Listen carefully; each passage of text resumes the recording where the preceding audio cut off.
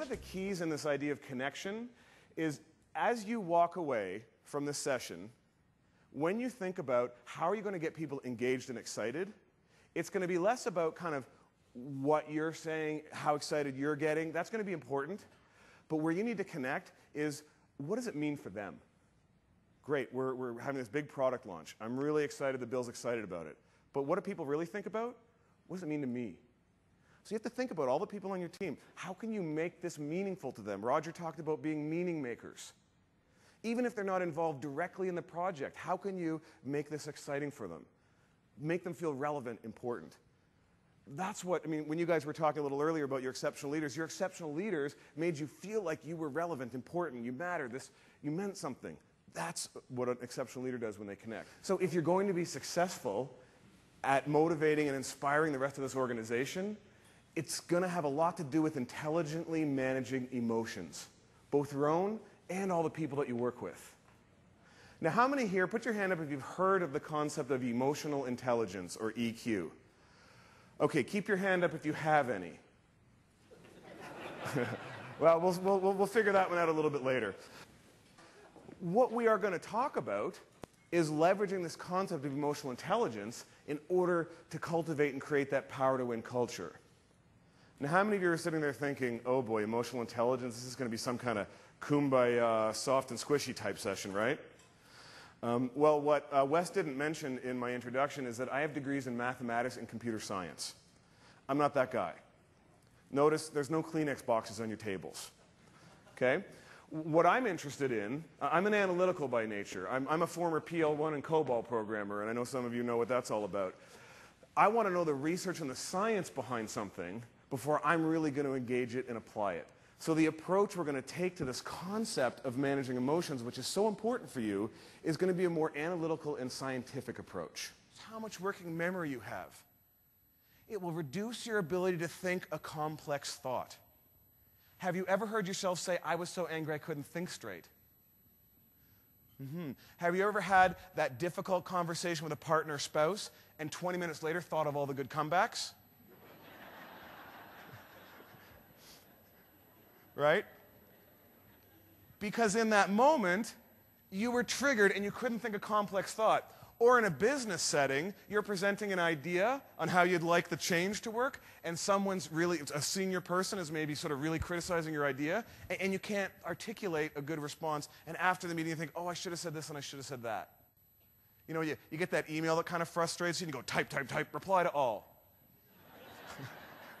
right? It's like, recall, recall. Recall doesn't work. I don't know why there's a recall. There's no recall. It doesn't work.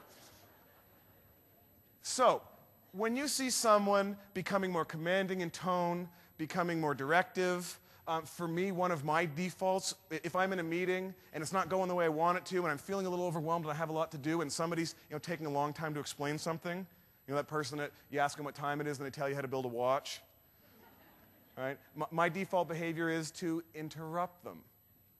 Well, now, which does that get me on their poor leader list or their exceptional leader list when I interrupt them?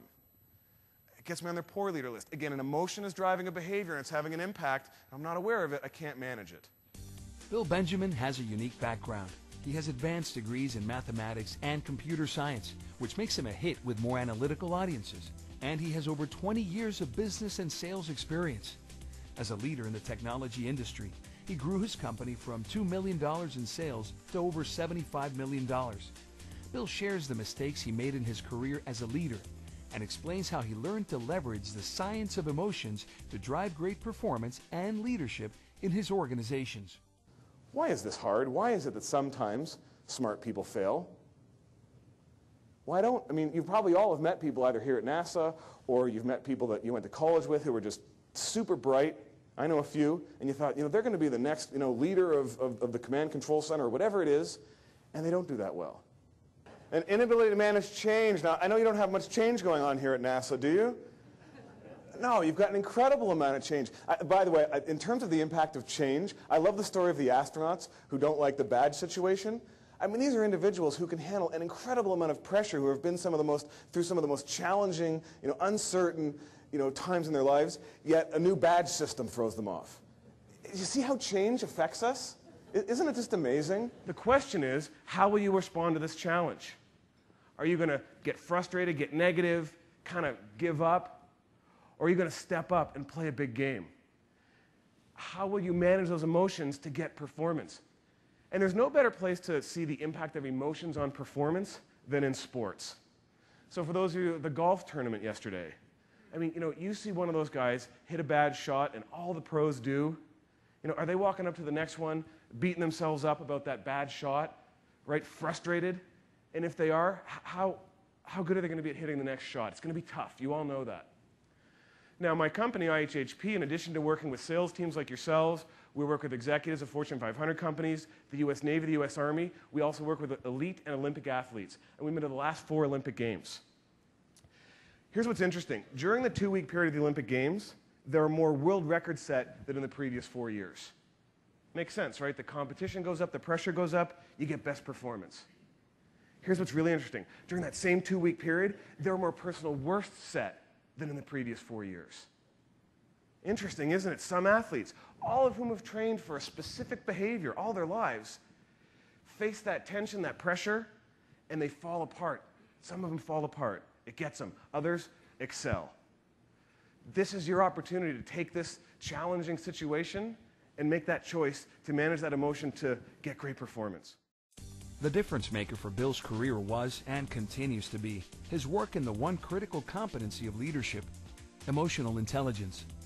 Emotional intelligence is the ability to recognize and manage ours and others' emotions and leverage the science of those emotions to motivate yourself and the people you lead. Pretty confident that you're all going to walk out of here and the next month is going to be very exciting. You're going to take this energy and it's going to be a really exciting product launch. Where I think your real challenge is, it's in the two months after that, and the six months after that, and the 12 months after that. When the product doesn't work perfectly, and a channel person calls in complaining, and the service person didn't respond because the salesperson didn't follow the proper procedure, and the product person can't fix it because there's no budget. And that's the stuff when it gets hard, when it gets challenging, when some of that legacy stuff starts unearthing itself that's where your real challenge is going to be. And that's where managing emotions is going to be critical. Most people, when they go to influence, engage, coach, they lead from their side of the bridge. They lead from their passion, their knowledge, their enthusiasm, their authority. And if you're pretty passionate and pretty knowledgeable and pretty smart, you can get a lot of people to jump. I mean, you know, as a leader, I, I did get some people to jump. But at some point, there's something going on for that other person that can cause them not to jump. And you can see they're not going to. Great leaders, people who really influence change, they can lead from the other side of the bridge. And it's exactly what um, Dr. Chell talked about, and I don't know whether he shared it with you. I hope you don't mind me sharing it, but he said as he's gone through this process, he had an aha about what this whole transformation is really all about. It's about empathy. It's about understanding what is going on for those other people in that, in that you know, transplant center, that donor center, or you know, whatever part of this network you're part of, can you connect and understand what's going on for other people and walk them back? Because when people feel heard, when they have a voice, when they feel valued and understood, then they engage. Then they're less likely to resist.